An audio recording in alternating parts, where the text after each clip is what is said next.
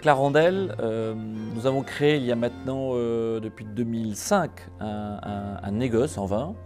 Et, l'idée, c'était de, créer une marque, Clarendel, qui, bah, qui, est un peu ce que doit être un Bordeaux.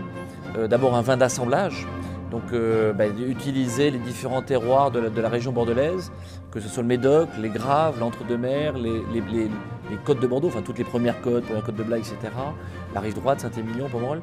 Donc d'utiliser toute cette mosaïque euh, pour faire un Bordeaux tel que nous le concevons, euh, qui doit être un vin équilibré, un vin prêt à boire.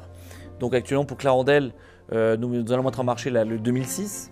Euh, donc on, fait les vins, là on vient de finir le 2012, mais on élabore les vins et on les stocke jusqu'au moment où ils sont prêts à boire. Euh, donc particulier aussi. Euh, mais c'est des vins qui sont dans la pure tradition bordelaise, qui sont cet équilibre, cette harmonie. on ne cherche pas à faire des vins modernes, on ne va pas les combattre les, Australiens ou les Américains, ça ils savent très bien faire et ils le font très bien d'ailleurs. nous on, essaie de continuer à faire perdurer cet esprit, de Bordeaux. Donc le, mon, travail à moi consiste avec l'équipe technique des propriétés et de notre négoce à, créer le meilleur assemblage possible. Alors on n'est pas en Champagne ou dans, les Côtes-du-Rhône, là on achète des vins finis, on n'achète pas des raisins, donc on, achète des vins finis. Donc en fait le, le travail consiste à, demander à des courtiers, parce que là il faut quand même sélectionner les vins, donc les courtiers ont en charge de sélectionner pour nous les différents vins chez différents producteurs, euh, à nous les ramener, et nous, euh, c'est à nous, parmi euh, tous ces échantillons, à créer un, assemblage particulier. Donc là, on vient de finir hier l'assemblage du Clarendel 2012. donc d'abord, on était surpris par la, par la qualité de l'ensemble des échantillons qu'on nous a présentés, qui sont globalement plus homogènes et sans doute meilleurs que, ce qu'on a pu avoir en 2011. donc on a fait un vin qui, est très sur le fruit, euh, mais aussi à la fois, à la, fois assez riche euh, pour pouvoir être gardé. Euh, le temps aussi de commercialiser des millésimes. Donc ça va être, ça va être un, millésime intéressant, je pense, pour, pour, pour être bu dans, dans 4-5 ans. ça, va être, ça, va être parfait sur le plan de, la gourmandise, on a quelque chose de très savoureux.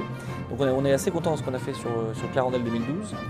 Et, là, donc, on va mettre en, marché le Clarendel 2006, euh, qui lui est, un, est, une, est très onctueux. C'est un vin qui est, tout en élégance et, et qui, tout en finesse et qui, devrait euh, se marier très bien avec les, repas.